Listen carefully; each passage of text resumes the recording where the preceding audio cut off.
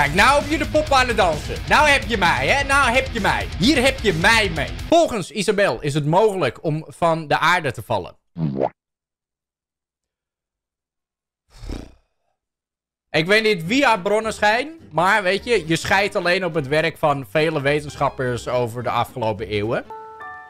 Hi. Hi. Oh mijn god, ik ben helemaal je bent niet de enige, ik ook.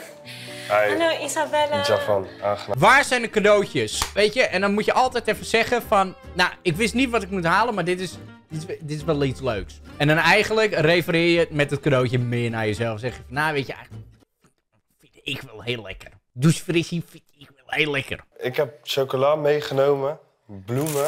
Ik hoop dat je bloemen leuk vindt. Vind ik een mooie combinatie. Zien we dat even? Rood en wit. Prachtig. Oh, Kijk eens, alsjeblieft. dankjewel. Heel mooi, dankjewel. Ik heb ook wat voor jou. En weten jullie wellicht, ik bedoel, ik, ben, ik, ik zit nog niet zo lang in het langlevende liefdescyclusje. Maar wat is echt het meest absurde cadeau wat voorbij is gekomen? Meestal zien we een geurenpakketje, parfummetje, douchefrissie, chocolaatje, ditje, datje, bloemetje, weet je. Maar wat is het meest absurde cadeau wat we voorbij hebben zien komen? Er was een knuffeldeken, was er ook, een soort onesie. Vind ik een leuk cadeau. Is niet waanzinnig. Tenminste, waanzinnig leuk, maar niet echt absurd. Zo dan. Wat leuk. Alsjeblieft. Thanks, dankjewel. Hij zegt wat leuk, maar hij weet niet wat het is. Maar hij vindt gewoon überhaupt dat hij een cadeautje krijgt leuk. En dat, weet je, dat kan ik me niet kwalijk nemen. Het is hetzelfde als de postbezorger langskomt en die heeft een pakketje.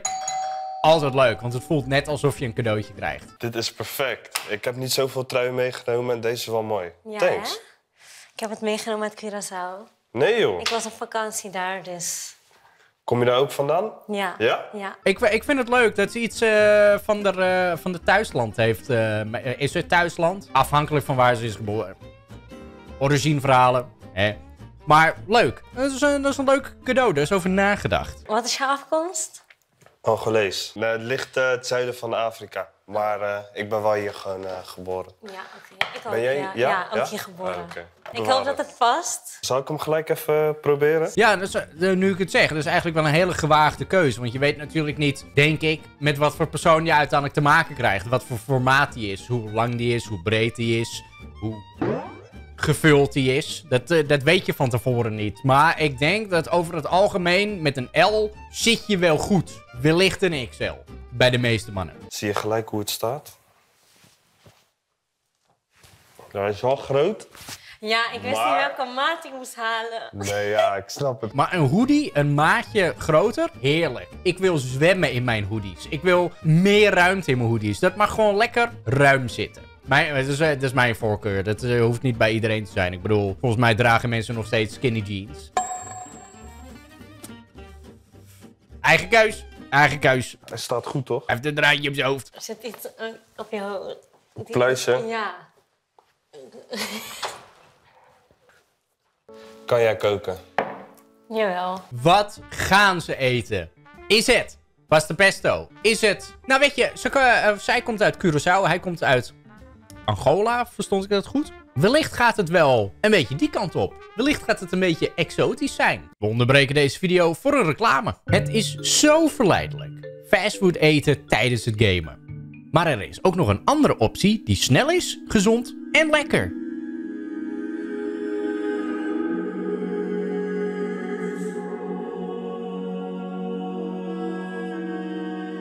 Y-food. Probeer het nu.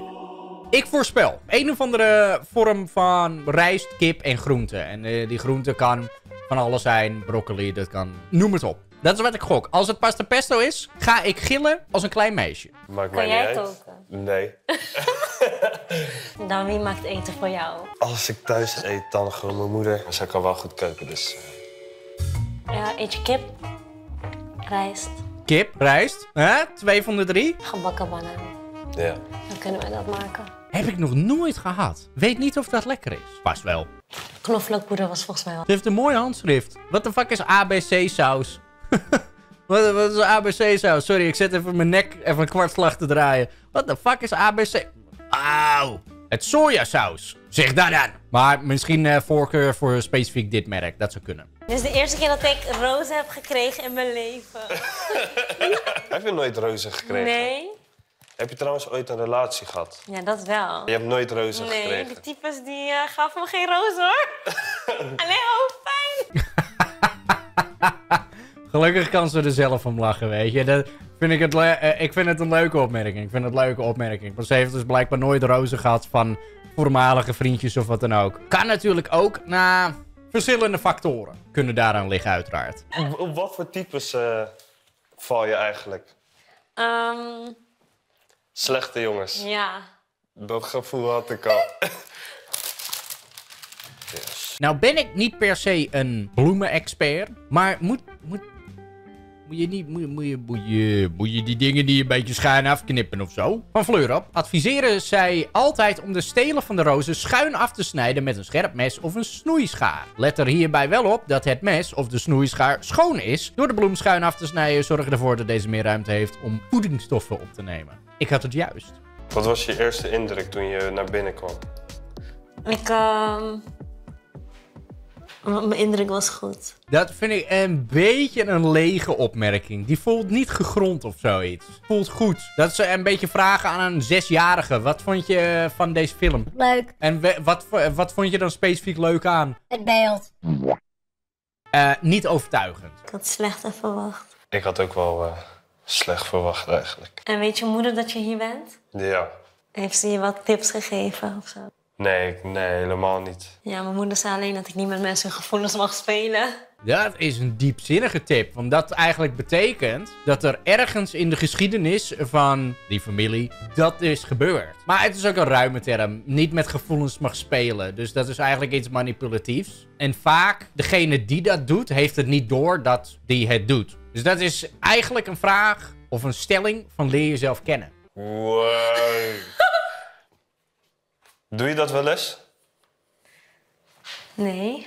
Zegt ze met enige twijfel. Mm. Wat ik dan niet zou begrijpen is, waarom zou je dat opzettelijk doen? Dat is gewoon iets wat... eh, Dat kan ik gewoon niet begrijpen. Waarom zou je expres met iemands gevoelens kloten? Alhoewel, een simpel leugentje voor best wil... kan ook nog wel eens een hele rare wending hebben. Dus, nou, ik begrijp het nu wel ineens. Ja. Het is heel filosofisch. Die lach van jou, dat is echt niet normaal. Die verbergt echt wat. Zoals ze zeggen, die heeft wat skelet in de kast. Volgens mij is dat een Engels spreekwoord. Zo'n skeletons in the closet. Dat is iemand die met geheimen rondloopt. Is de aarde rond of plat?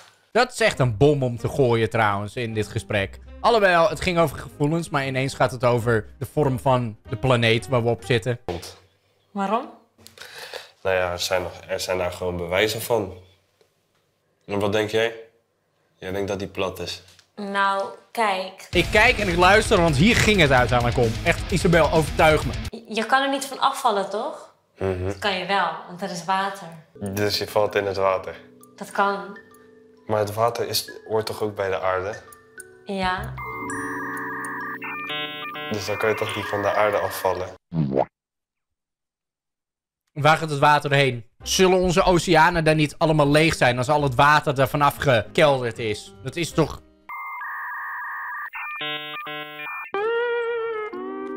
Isabel, je was zo goed op weg. Zeg ik wel. Ik weet niet, je bent een beetje mysterieus op weg. Ik, ik weet niet hoe je eigenlijk... Je bent een beetje... Weet je, je zit op een kronkelpaadje. Laten we daarop houden. Zo, je neigt een beetje naar eh, hartstikke leuke dame. Dan ineens van... Ah, heel geheimzinnig. En dan ineens de fucking aarde is plat. Ik van, Isabel, kom op. Hoe zou het werken als de aarde plat is? Oké, dan kelder je er vanaf. En waar val je dan heen? Want dat zou betekenen dat zwaartekracht een universeel concept is. En niet per universeel lichaam gebonden is. Dus per planeet, per maan, per ster. Dat het niet een eigen soort zwaartekracht heeft. Nee, dan is er gewoon één grote zwaartekracht die telt. En eh, dat zou dus ook betekenen dat er een boven en een onder is in het universum. Wat er niet is. Want het is, iedereen spint alle fucking kanten op.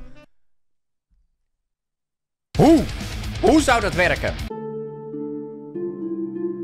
Ik denk dat we daar ons antwoord hebben, dames en heren. Zou er dan in de geschiedenis niet tering veel boten gewoon van de planeet zo... Eh, ik ben lekker aan het varen.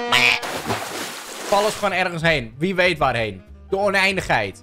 En dan heb je gewoon ineens een boot in de ruimte. Hoe, hoe verklaar je de ruimte dan überhaupt? Hoe kom je dan in de ruimte? Door gewoon van v- planeet af te varen en dan... Ah, en dan val je ineens naar de maan of zo. Hoe verklaar je dan de fucking maan die je in de lucht ziet. Hoe zit die te cirkelen dan? Hoe werkt dat dan? Een dag-nachtcyclus. En uh, jaarcyclus, et cetera. Hoe verklaart men dat? Ik denk dat we daar ons tweede antwoord hebben op uh, al onze vragen, weet je. Een leuk gezegde die ik uh, eigenlijk wel met wat meer regelmaat wil gebruiken is van... Niet het scherpste bestek uit de laag. Oké, okay, maar... Maar geloof je echt dat de aarde plat is? Waarom is het rond? Waarom is het niet vierkant? Ja, waarom is het eigenlijk niet vierkant? Zal vast ook wel een antwoord voor zijn. Die weet ik dan even niet. Maar omdat je niet wilt erkennen dat hij rond is. Het is eigenlijk meer een sfeer. Het is niet per se... Het, het is geen perfecte cirkel. Als je dat niet wil erkennen, waarom moet het dan tegelijkertijd plat zijn? Oké, als het geen vierkant is, waarom is het geen driehoek? Laten we dan elke vorm dan eventjes afgaan. Ik bedoel, het is niet alsof je naar de Instagram-pagina van NASA kan gaan en gewoon letterlijk... Oh, dit is, weet je, onze planeet. Dit is het. Zeg maar niet alsof we be bewegend beeldmateriaal hebben van de planeet of zo, weet je. Het is, uh, dat is allemaal CGI, toch? Je kan gewoon makkelijk praten, daar ook wel van. Je bent wel de date uh, waar ik op hoopte. Leuk. Wat is de harde grens? Wat is een dusdanige rode vlag dat je zit van... Nee, ik wil naar huis. Persoonlijk, als mijn verloofde zou zeggen de aarde is plat... Nou, lever die ring maar weer Nee, dan gaan we er eerst even een goed gesprek over houden. Van hoe ben je godsnaam tot die conclusie gekomen? En als we er dan niet uitkomen, nou, lever die ring maar weer in dan. Een soort algemene wetenschappelijke feiten. Daar, als je daarvan afwijkt, dat is echt een complete rode vlag voor mij. Daar, daar kap ik gewoon vanaf. Weet je, prima. Maar dan, dan hoeft dit niks te worden of zoiets. Ook al vind ik het wel bijzonder interessant. De gedachtegoed van zulke soort mensen. Want dat is dus ergens een keer gevormd. Ze zijn ergens een keer tot die conclusie gekomen van, weet je, het is plat. We kunnen er vanaf vallen. Aan de ene kant vind ik het gesprek interessant. Maar ik zal het nooit eens zijn met de conclusie. Tenzij ze echt met hele harde feiten komen. En, maar dat valt altijd te ontkrachten. Dat, was, dat is het hele gelul. Platte aarde mensen weten altijd de ronde aarde te ontkrachten. En vice versa, bla bla bla bla. Maar er is overtuigend veel meer bewijs van een ronde planeet dan dat er is van een platte planeet. Leuk, zeg ze. Welk cijfer geef je me uiterlijk? Da, is dat van een kaartje afgelezen? Of wilt ze dat gewoon heel graag weten? Wilt ze validatie hebben? Heel eerlijk? Een 3. Oh, nee, nee. Het gaat niet zoals de vorige aflevering zei van... Ja, ik wil eigenlijk een fotomodel, weet je. Je bent geen fotomodel. Oh, nee, dat gaat niet nogmaals gebeuren. Een 9. Echt? Ja. Zo hoog. Had ze niet verwacht? Weet ik niet. Ja. Dat is echt hoog, hè? Het is ook echt hoog. Weet je nog dat de moeders zei niet met gevoelens spelen? Ik heb het gevoel dat deze vraag opzettelijk was om erkenning te krijgen. Om een complimentje te forceren, zeg maar. Dat, dat zegt mijn gevoel een beetje. Ik heb het gevoel dat hier een beetje lokvoer is gestrooid. En hij moet een hapje nemen. En zij staat er klaar met zo'n sniper rifle. Dus oké, geef me een complimentje dan. Ga maar knagen. Ga maar... Bling, weet je. Goed in de roos. Dat gevoel krijg ik een beetje. Ik ben bang dat die reis gaat aanbranden.